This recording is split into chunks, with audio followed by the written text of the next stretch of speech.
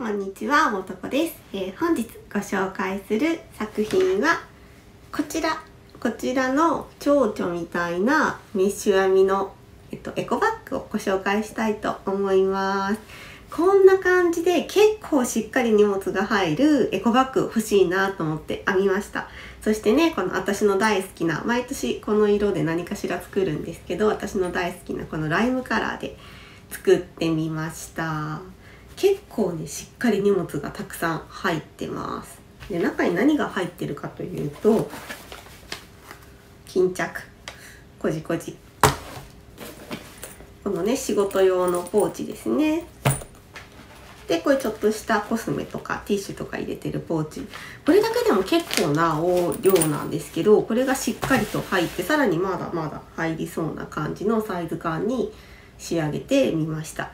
そしてバッグの底ですね。バッグの底もすごく可愛くてバッグの底は正方形になっています。正方形でこのサイドの模様につながるようにこんな風に編んでからこう模様につながっていくような編み方をしています。そしてその四つ角からこのハンドルがこう出ていってこういう風な形になっています。そして糸なんですけど糸もこれウール100%の糸で編んでなんか冬って感じにしました。で冬なんですけどあんまモフモフモコモコしてないのでなんかすごくこう小物としてもすごくこう優秀なちゃんとソリッド感もありながらちゃんと冬のあったかみえもする糸をチョイスして編んでみました。是非是非この冬のセカンドバッグサブバッグですね。サブバッグ的な感じでよしよかったら編んでみてください。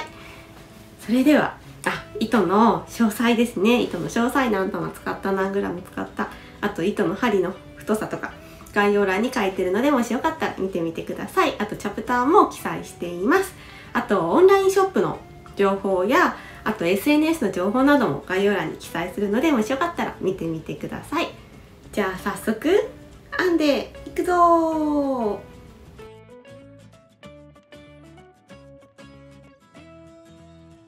本日はこちらの糸を使って編んでいきます。沢田糸さんのアモトという糸です、えー、ウール100%波太の1玉 50g です。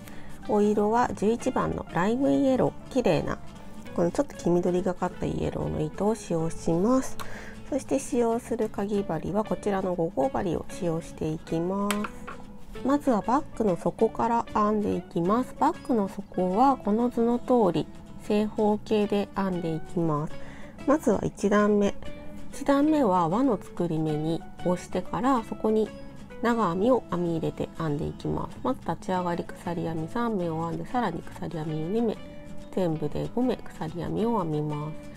そしたら輪の中に針を入れて長編み。3目鎖2目長編み。3目。というふうに長編み3目と鎖編み2目をぐるっと繰り返していきます。そしたらまず輪の作り目から作っていきます。人差し指に糸を2回巻きつけます。こんな風に輪が2本輪が2個できるようにします。そしてこの糸を重なったところここを中指と親指で持ちます。そしたらまず針を持っていただいてこの輪の中に針を入れます。そして糸をかけて引き出します。ここから編み始めていきます。まず立ち上がり鎖編み3目。立ち上がり123目。そしてさらに2目編みます。これで全部で5目。そうしたら長編みをこの輪の中に針を入れて編みます。長編みが3目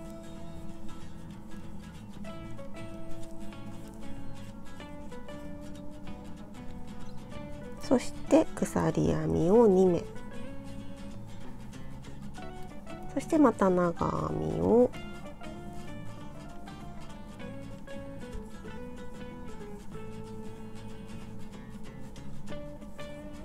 3目。この角の部分が鎖編み2目ですねそしてこの面の部分が長編み3目この長編み2目あ鎖編み2目と長編み3目交互に繰り返して編んでいきます今この状態まで編み終わりました最後のこの長編み2目まで編めていますそしたら一旦ここでこの真ん中の輪の糸を引き締めます一旦この糸端を軽く引っ張ります。そうしたらこの糸端軽く引っ張った糸端のここ右側ですねを引っ張って動かなかった方を一旦引き締めます。そしてもう一度糸端を引っ張ってここんな風にして輪を引き締めます。そしたら立ち上がりの鎖編み3目ですね。立ち上がりの鎖編み3目の3目目。はいこんな風になっててこの3目目に針を入れて引き抜き編みで閉じます。一番最初に編んだ立ち上がり鎖3目をここの長編み1目とカウントします。これで1段目が完成です。それでは次2段目編んでいきます。2段目今こちらで1段目のここで今編み終わってます。じゃあ次この鎖編みのところから編み始めたいので引き抜き編みで1目移動します。そしてそこから編み始めます。編み方は編み始めは基本的に1段目と同じ。立ち上がり鎖3目鎖編みさらに2目全部で5目編んだら前段のこの鎖編みを即ですくって長編みを2目編みます。そして前段のこの長編み3目に対して1目に対して1目長編みを編み入れる。そしてこの鎖編みここの角の鎖編みを即ですくって長編み2目鎖2目長編み2目と編む。そして前段の長編み3目それぞれに1目ずつ長編みをぐるっと編んできます。長編み長編み。そしてここの長編みは前段のこの引き抜き編みをした立ち上がり3目の3目目に編みます。そしてこの最後の長編みはこの前段の鎖編みを即作って長編みを編みます。そして引き抜き編みというふうに2段目編んでいきます。2段目編んでいきます。まず引き抜き編みでここの鎖編みの部分に移動。そして立ち上がり鎖編み。3目そしてさらに2目。全部で5目編む。そしたら前段の今度はここの鎖を即ですくって長編みを2目。次は前段の長編み1目に対して1目。長編みを編み入れていく。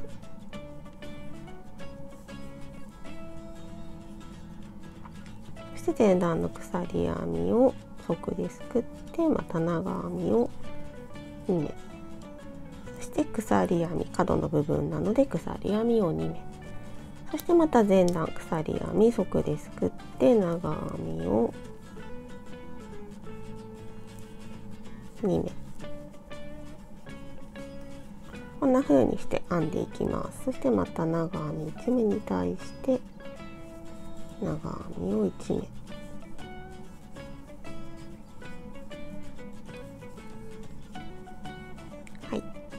のようにぐるっと編んでいきます。ここまで編めてきました。そしたら次の長編みは前段の立ち上がり鎖3目の3目目に針を入れて長編みを編みますこんな風になります長編み長編みここ鎖編み3目この3目目に針を入れますそしたら次この鎖編みを即ですくって長そしてまた立ち上がり鎖編み3目の3目目に針を入れて引き抜き編み。これで2段目が完成です。そしたら基本的に345編み方は同じです。そして4段目のみ。方眼編みで編んでいきます。4段目のみですね。まず立ち上がり同じです。鎖編み5目編んだら前段を即鎖編みを即ですくって長編み。そして235はここに2本編み入れるのですがこの1本分、えー、とここですね。この今2本編み入れてるここの部分が鎖編みになります。そして前段の長編みに長編み。そして鎖編み。1目飛ばして長編み鎖編み。1目飛ばして長編みという風にぐるっと編んでいきます、えー、5段目まで一気にこの図案通りに編んでいきたいと思います。こちらが図案になってます。この図案通り5段目まで編んでいってください。4段目を編んでいきます。方側編みの編み方ですね。引き抜き編みで移動して鎖編み5目前段側ですくって長編み鎖編み。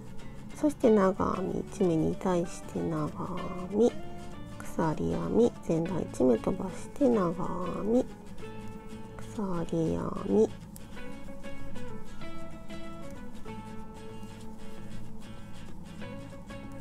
はいこんな風に方側編みを編んでいきます。4段目最後まで編みました。そしたら前段の鎖3目の3目目に針を入れて長編みそしたら次は鎖編みですね。そして123目目に針を入れて引き抜き編み。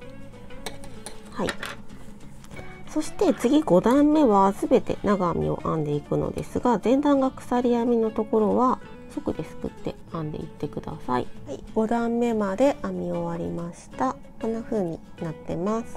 次からは6789をこう模様をバッグの側面につながる模様を編みながら角の部分で増やし目をしながらこの正方形をさらに編み進めていきます。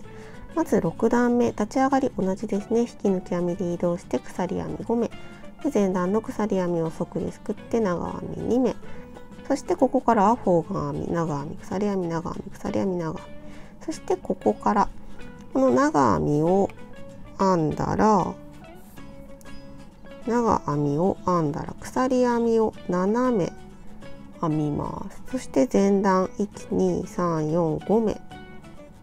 飛ばしてその次の目に長編み。そしてまた方眼編み。して次はこの鎖編み2目を側ですくって長編み2目鎖2目長編み2目。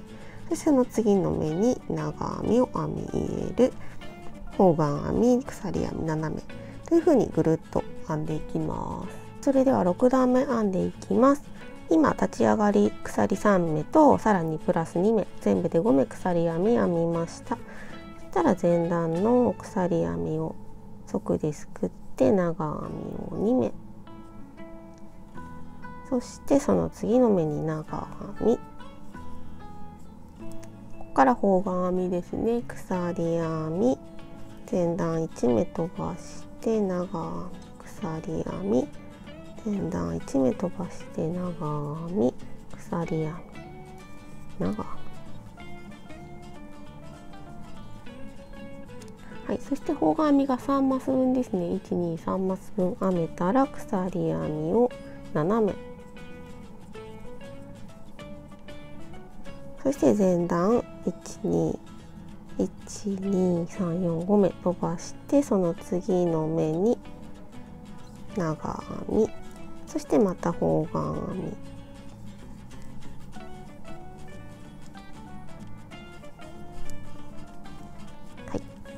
というふうにぐるっと編んでいきます。6段目編み終わりました。ここに模様がつながっていきます。次7段目編んでいきます。7段目。立ち上がり同じですね。鎖編みを5目。引き抜き編みで移動してから鎖編みを5目編みます。そして前段の鎖編み側ですくって長編み鎖編みを4目。そこからは前段鎖編みの部分は側ですくいながら長編みを編みます。そして鎖編み3目編ん。だらこの前段の鎖斜めを側ですくって細編みさらに鎖編みそしてそこから全ての目に長編みそしてこの角の部分鎖4目前段鎖編みの部分側ですくって長編み鎖2目長編みそして鎖編み4目長編みというふうにぐるっと編んでいきます立ち上がりと鎖2目全部で鎖編みが5目編めました。そしたら前段の鎖編みを側ですくって長編み鎖編みをここから4目編みます。そしてこの前段のここからですね前段の鎖編み長編み2目を飛ばして長編みをすべての目に編み入れていきます。前段が鎖編みの部分は側ですくいます。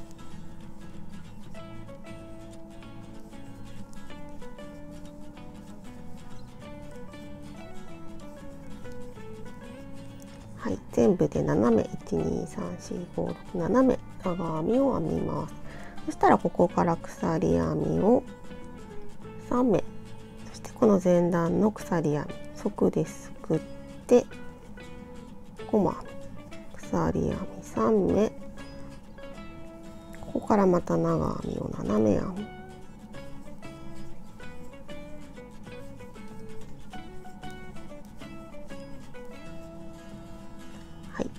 こんな風に編んでいきます。そしたらここの角の部分ですね。角の部分は鎖4長編み鎖2長編み。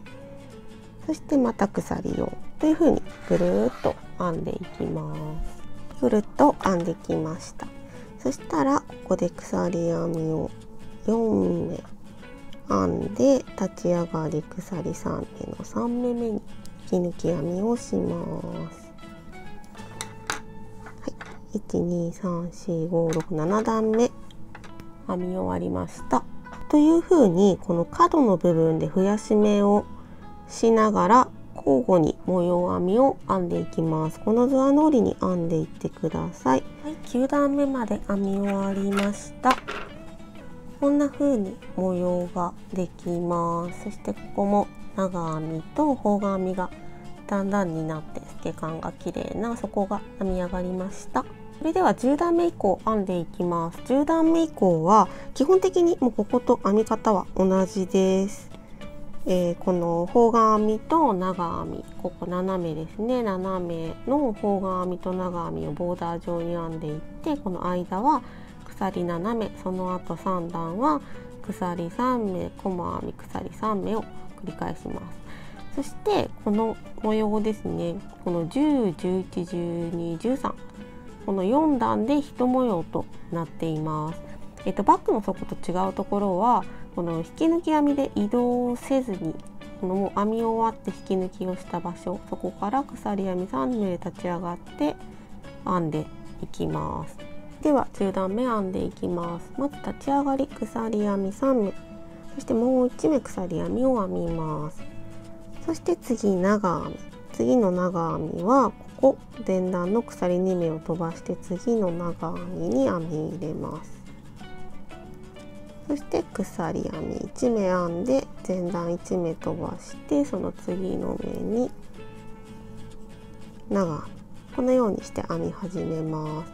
そして次鎖編み7目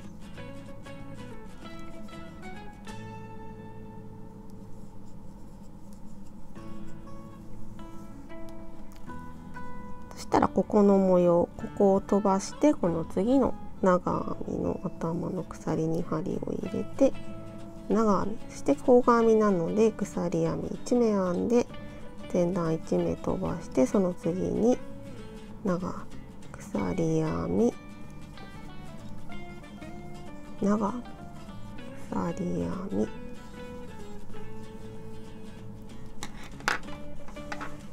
こんな風に編んでいきます。この角の部分まで編んできました。そしたら次は鎖編みを1目編んで前段1目飛ばして長鎖編み1目編んで前段のこの鎖2目を飛ばして長鎖編み1目1目飛ばして長角の部分はこの鎖2目の部分は、えー、ここですね。ここの部分は鎖2目を飛ばして編みます。それではこのようにぐるっと編んでいきます。ここまで編めました。そしたら立ち上がり鎖3目の3目目に引き抜き編みをします。はい。10段目が完成しました。それでは次11段目立ち上がり鎖3目。前段が鎖編みの部分は長編み。長編みに対して長編み。長前段鎖編みには側です。くって長編み。長編みに対して長編み。そして鎖3目細編み鎖3目。そしてまた長編み7目を繰り返します。そしてこの11段10段目11段目1213え1213の編み方は基本的にこの11段目と同じですね。この4段を繰り返して編んでいきます。まずは11段目。立ち上がり鎖編み3目。そしてもう1目。前段が鎖編みの場所は側ですくって長編み前段が長編みの場所は長編み。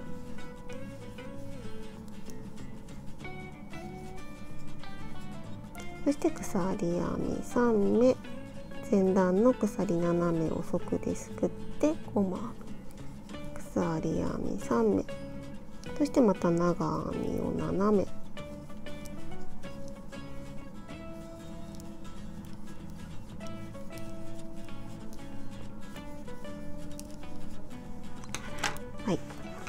こんな風にこの模様編みを長編みと鎖編みを使いながら編んでいきます、はい、29段目まで編み終わりました。バッグの底からこのバッグの側面。こんな風に模様ができてます、はい、それではここで一旦糸をカットします。糸をカットして糸をギュッと引き締めてこの裏側でこの糸は始末します。そして次ハンドルを作っていきます。それでは次はハンドルを編んでいきます。えハンドルは四つ角にちょうどここのここがこの四つ角に当たります。このハンドルの中心がこのバッグの角になるようにして編んでいきます。ちょうどこのバッグがこういうここじゃ見えない。なんかこういう風にあったとしたらこういう風にハンドルができていく感じです。ここが角ですね。ここが角。こんな風にハンドルがついていきます。とまずはここえっとここがまずバッグの半1段目になっています。ここに糸をつけてから編み始めます。この部分がこのバッグの側面のここがバッグの側面の中心のメッシュの部分ですね。とここにこの長編みが連なっている部分ここに糸をつけて編み始めます。まず鎖編みを2目編んで長編みを編みます。これで長編み2目一度の立ち上がりを編みます。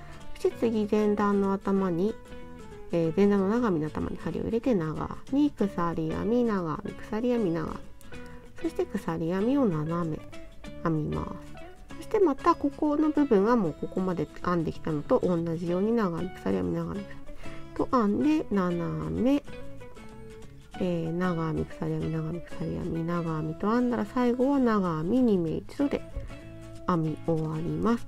えっ、と最後のこの123 4段この4段の部分でこう傾斜を作っているので、えっと、この4段はこの右端左端のこの最後の目は2目一度になります。そうしたらこのバッグのこの中心先ほど言ったここが側面の中心ここが角にあたる部分ですね。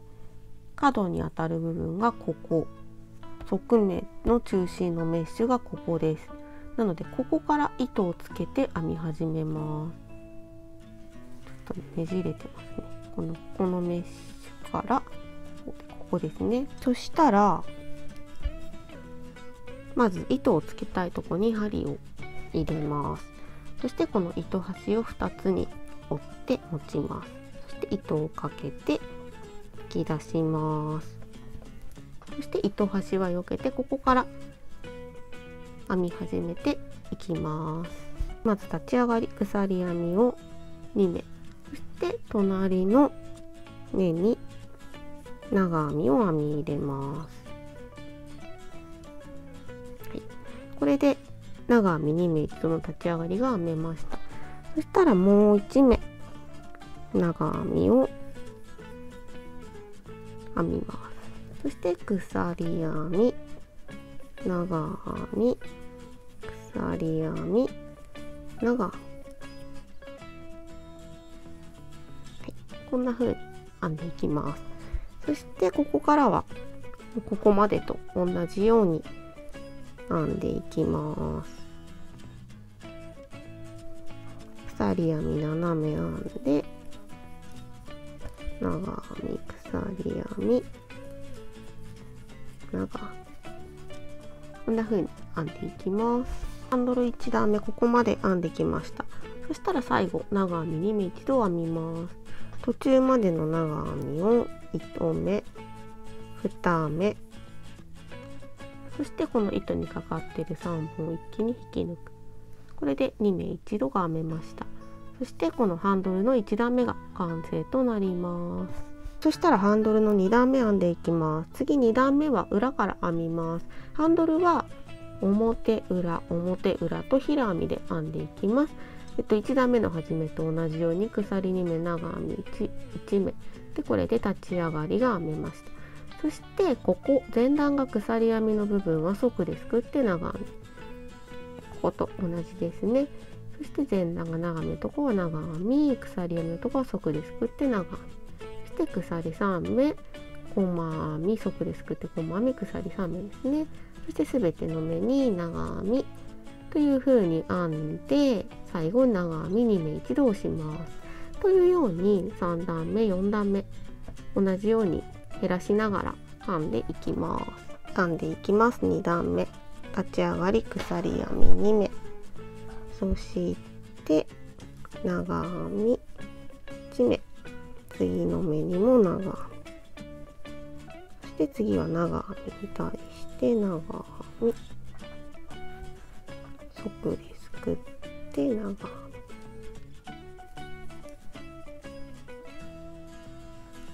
さ鎖編み3目。長編み鎖編み3目。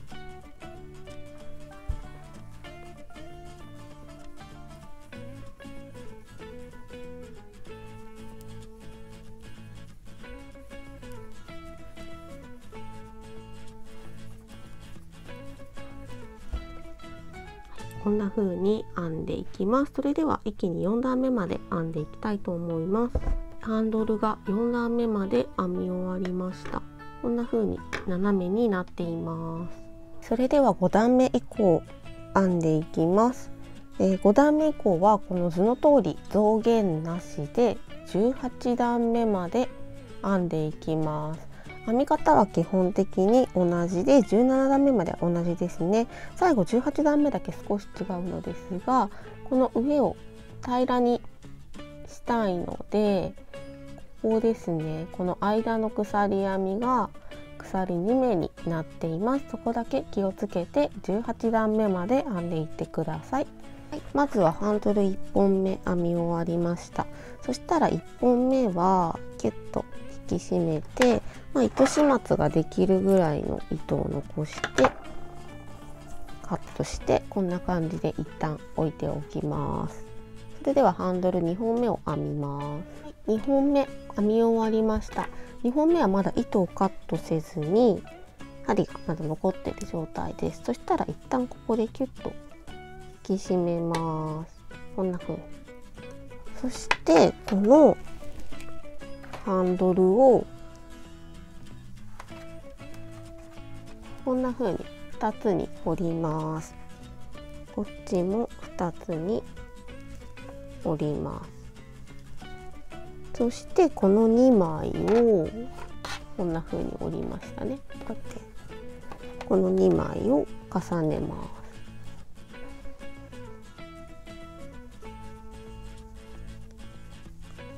す。そしてこの4枚を、えっと、細編みで閉じていきます。そしたら細編みを編んでいきます、えー、まずはこちら1目目ですね。1目目針を入れます。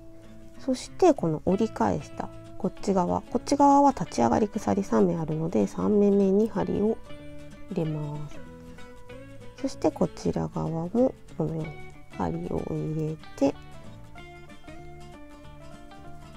4枚すべてに針を通します。そしてこの4枚を一気に5枚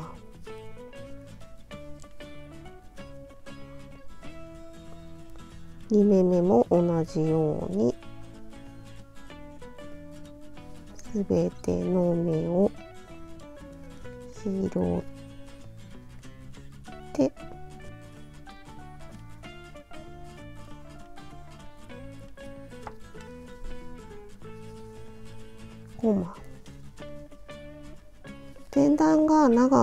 場所は頭の鎖を拾って細編みを編んで前段が鎖編みの場所は即ですくいます。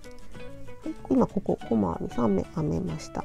そしたら次からは鎖編みなのでこの鎖を即ですくって細編み。ここ鎖2目なので細編みを2目編みます。